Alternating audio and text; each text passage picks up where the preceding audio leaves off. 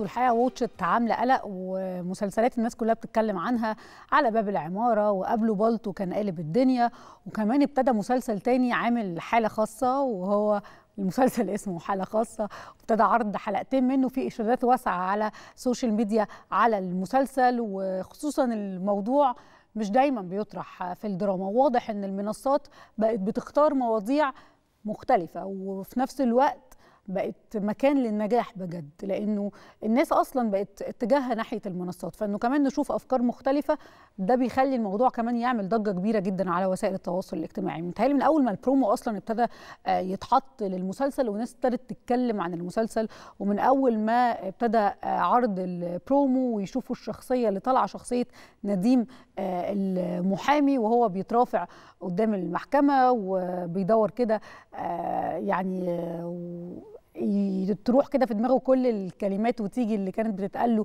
من الناس اللي حواليه الكلمات بقى اللي شجعته والكلمات اللي أحبطته. وهو في حالة من التوتر قدام القاضي. أعتقد الناس كلها ابتدت تتشد للموضوع وتشوف إيه الموضوع. ووجود غادة عادل طبعا وهي المحامية بقى المخضرمة اللي بتشتغل في المسلسل. بطولة مجموعة الحقيقة من النجوم اللي كلنا بنحبهم. غادة عادل طبعا النجمة الجميلة. طه دسوقي اللي أصلا ظهوره ووجوده بطل في المسلسل.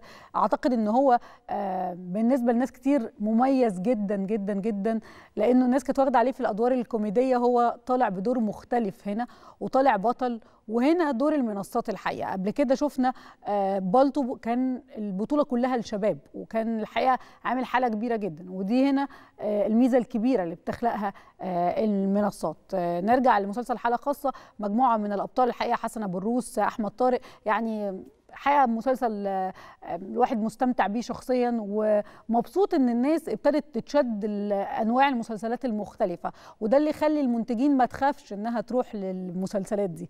ناخد دلوقتي على التليفون منتج العمل طارق الجنايني. مساء الخير عليك ومبروك أهلا بيك يا فندم أهلا بيك. متشكر جدا على المقدمة الظريفة جدا. المسلسل اللي عامل قلق على ال social media والمنصات واختياركم للمواضيع الحقيقة بقى ملفت جدا. المسلسل بيتكلم عن التوحد ودي مش مش مسلسلات كتير بنلاقيها وده بيفرق حتى مع الناس اللي عندها حالات توحد جوه أسرها إنها تلاقي إنها واخدة حقها حتى في الدراما. أه والله يعني الحمد لله أنا طبعا الأول أشكر الاصدقاء في Watch It إن هم قد إيه تحمسوا للعمل. وشافوا فيه حاجة مختلفة مش شبه حاجة تانية موجودة خالص. آه المسلسل بيدور في مكتب محاماة. الشخصية الرئيسية اللي فيها أو يعني آه عنده عنده فعلا توحد. بس يمكن إحنا عشان دخلنا بقى في الموضوع أكتر ففهمنا الأطياف المختلفة من مرض زي التوحد. فأتمنى إن المسلسل بإذن الله زي ما هو ناجح مع الناس جدا دلوقتي وإحنا مخضوضين طبعا من رد الفعل اللي حصل في ال 24 ساعة اللي فاتت إنه آه يقرب الناس لبعض. آه يعني أتمنى إن إحنا نقدر نوصل فكرة إنه آه الاختلاف مش مش غلط أو ما يقلقش أو ما بالعكس يعني إحنا كلنا في الآخر يعني ربنا اللي خلقنا بنكمل بعض بصورة ما. أكتر حاجة كنت متخوف منها لما مسكت ورق المسلسل ده إيه؟ ولما ابتدى يتقدم المسلسل تخوفاتك دي كانت في مكانها إيه اللي حصل؟ بصي أوقات والله الواحد بخاف قوي لما لما مشروع بيعجبني بزيادة. الا انه لا لازم إحنا في الآخر برضو كصناع أوقات لازم نفرق ما بين إيه اللي بيعجبنا إحنا لآرائنا الشخصية. وإيه اللي ممكن يعجب الجمهور؟ لأن إحنا في الآخر إحنا في صناعة آه ترفيهية. آه طبعا بيبقى ممتاز جدا إن إحنا نقدر نعمل حاجة ترفيهية وفيها رسالة, رسالة وفيها آه تعليمية برضو في نفس الوقت يعني زي ما بيقولوا بره اديوتينمنت ففي أوقات بس الواحد بيبقى قلقان هل اللي عاجبني قوي ده هيعجب الناس برضو ولا لأ؟ كنا حريصين قوي إنه وده حقيقي بصراحة ده كان عند مهاب يعني من من ساعة ما ابتدى يكتب المسلسل إنه إزاي ممكن تاخدي موضوع مهم جدا وموضوع جد جدا وموضوع بيلمس قلوب الناس جدا وتتعاملي معاه بصورة لايت جدا. فما ما يبقاش مسلسل كئيب أو أو أو كده لأنه في أوقات لو رحتي لحتة أغمق شوية يعني باللغة الدارجه آه، ممكن تفقدي جزء كبير من الجمهور. مم. إنما لو قدرتي إنك توصلي اللي انت عايزة توصليه في نطاق آه، فيه بسمة هتخدم آه، القضية أصلا. والعمل نفسه هيوسع- انتاجيا هينجح. بالظبط وهيوسع هيوسع ال- الشريحة اللي ممكن تتفرج عليه أكتر. هو ده الكل هيستفيد. نوصل له يعني. كلمني عن طه الدسوقي بقى شوية. يعني اختيار الشباب إنهم يكونوا أبطال في أعمال آه، للمنصات أعتقد ده بقى توجه واضح. آه، والحقيقة إنه دايما بيثبتوا إنهم قد الموضوع. يعني بصراحة دي برضو تاني والله مش عشان آه، العمل على Watch It بس يعني هي الأعمال بتاعت Watch It بتتكلم عن نفسها. Watch It سباقة في الحكاية دي قوي إنه عملوا already عمل زي بالطو كسر الدنيا. عملوا عمل زي ريفو كسر الدنيا. في أعمال تانية كتيرة قوي اتعملت بوجوه جديدة و- ولاقت نجاح كبير جدا. إحنا من الشركات اللي بنحب آه، نشتغل مع ناس جديدة. إحنا زمان آه، آه، اشتغلنا مع فهمي وشيك وهشام ماجد. كان لسه أول حاجة عملوها معانا وهم طالعين في نجوم كتير قوي من اللي موجودين النهارده. يمكن مرة زمان كنا عملنا مسلسل بتاع شربات لوز. كان كمية وجوه جديدة موجودة في شربات لوز. النهارده بقوا كلهم أبطال. ونجوم يعني من أول مع حفظ الألقاب للجميع يعني محمد شاهين محمد فراج محمد سلام آه، أمينة خليل ريهام حجاج أحمد صلاح حسني نسرين أمين يعني كل الناس دي وكتير تانيين عشان بس ما بقاش ناسي حد دول لوحدهم كانوا آه، معانا في شربات لوز. آه، أعمال كتيرة الحمد لله اشتغلنا عليها بيبقى حتى مؤلفين جداد أو مخرجين جداد والحمد لله بنتوفق فيها. آه، يعني ربنا بيكرمنا والدتي بتدعي لي كويس وربنا بيكرمنا بإن إحنا بنقدر نشوف حاجة في الموهبة. بتاعت ناس طه already كان established كممثل كوميدي آه، كل الناس شايفة إن هو الأهم في الحتة دي الفترة اللي جاية. آه، لما جيت اتكلمت معاه على الموضوع هنا ما كنتش عارف هو ممكن يشوفه إزاي لأنه أنا في رأيي ان 90 لو مش 95% من اللي في مكان طه كان هيخاف إن هو يعمل يروح. للحتة دي صح طبعا صح. لأنه كان هيبقى بيفكر. وأنا إيه اللي يخليني أعمل كده. دلوقتي طب ما أنا هو لسه ناجح. هناك آه بالظبط واكمل فيها وبتاع وكده إنما آه طه مخه نضيف جدا. آه ناس أوقات كتيرة بتنسى إن الممثل الكوميدي أصعب من تمثيل الدراما أنا إن أنا إن واحد يعيطك أسهل بكتير قوي من إنه يضحكك.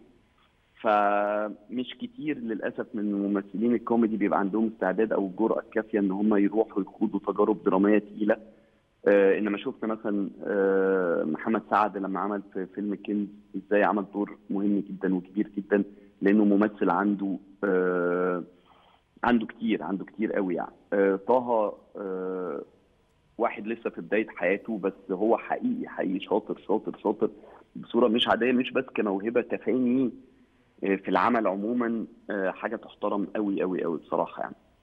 الاتجاه للمنصات بيحقق نجاح يوازي النجاح اللي الشاشات بتقدمه؟ آه، بصي في فيلم آه، أمريكاني كده قديم بتاع كيفن كوستنر اسمه Field of Dreams. كان مبني حوالين ال concept بتاع آه، if you build it they will come. لو بنيتيها هيجوا. فأنا مقتنع إن أي عمل بيتعمل صح أو بيتعمل حلو أو بيتعمل ب... ب... بإجادة على قد ما نقدر بيلاقي آه، الجمهور بتاعه سواء العمل ده للتلفزيون للمنصة للسينما برنامج documentary whatever لو اتعمل صح هيلاقي اللي يجيبوه. وأعمال زي الحمد لله حالة خاصة آه، على واتش دلوقتي بيثبت إنه الجمهور العربي جمهور ذواق. آه، جمهور لما بتديله آه، حاجة تحترمه آه، هو بينجحها جامد جدا. صحيح. إحنا ردود الفعل اللي عندنا على الحاجات في الأيام اللي فاتت آه، يعني سوري ما بين امبارح والنهاردة مبهرة. ومن أكتر الحاجات اللي بسطانة آه، إنه إزاي الناس بتاخد بالها من تفاصيل صغيرة جدا. إحنا ممكن نكون إحنا كنا زارعينها آه، وما كناش متخيلين إن كل الناس ممكن تاخد بالها منها أو كده إنما حقيقي حقيقي جمهور محترم جدا بيحترم وبينجح اللي بيحترم لا وأنا أعتقد كمان إن موضوع المحاماة وشه حلو عليك. يعني هو بعد Suits برضو ونجاح الكبير اللي Suits عمله موضوع المحاماة برضو وشه حلو عليك. وغدا غدا وشها دايما برضه حلو. معانا كانت معانا في الميزان زمان والميزان برضه كان كسر الدنيا. وأنا غالبا كنت في جزء جوايا كان عايز يبقى محامي أو حاجة فأنا ما أعرفش ليه بحب دايما الحاجات اللي فيها محاماة. بس هي هي هي جونرا ناجحة في العالم كله. فكرة الحتة برضو بتاعت القواضي ومين اللي عملها طب هتتحل إزاي؟ طب بتاع يعني اي ثينك إن دي حاجة تشد الناس آه، بشكل كبير. بتشد الناس جدا وبت وبت مش بتمتحن ذكائهم بس يعني بت بت بتنتريج دم يعني مم. بتخلي الناس تبتدي تفكر الله طب بيفكروا مع آه، الأبطال وبيعيشوا معاهم في الرحلة وبيبتدوا يدوروا معاهم على حلول آه، يعني الحلقة الثانية قافلة بطريقه لسه في حاجة هنشوف الحل بتاعها في الثالثه فكل الناس عمالة بتبعت من دلوقتي يا جماعة طب إيه ده؟ طب إحنا عايزين الثالثه من دلوقتي ابتدى يجي لي عروض رشاوي كتير إني أفرجهم على الحلقة الثالثه بس يعني لغاية دلوقتي لسه ماسك نفسي إنما إنما الناس فعلا فعلا الحمد لله آه، متفاعلة مع الموضوع جامد قوي الأرقام اللي ظاهرة آه، للمسلسل من التفاعل على ال social media آه، والحاجات المختلفة من امبارح للنهاردة يعني الحلقة الثالثه هتنزل. إمتى بقى الأربع الجاي إن شاء الله الثالثه. والرابعة مع بعض. إن شاء الله. على خير. وعايزين نعرف في ضيوف شرف تانيين هيظهروا في المسلسل ولا لأ؟ آه، أكيد. يعني مش هقول هنشوف كلنا مع بعض. أنا ببارك لك وبشكركم على. العمل ده وعلى مجهودكم الكبير وشكرا جزيلا. أنا بشكرك وببارك لك وبشكر كل الكرو يعني اللي عمل لنا كل الشغل الرائع ده. وفي انتظار الحقيقة باقي الحلقات نستمتع جميعا. بشكرك المنتج طارق الجنايني شكرا جزيلا على وجودك معانا. شكرا لكل فريق العمل. يعني إن شاء الله نستمتع جميعا بمسلسل حالة خاصة على واتشت ويعني نستمر كده في المتابعة ونحاول كلنا نحل يعني القضية ونشوف إيه اللي هيحصل في الحلقات الثالثة والرابعة.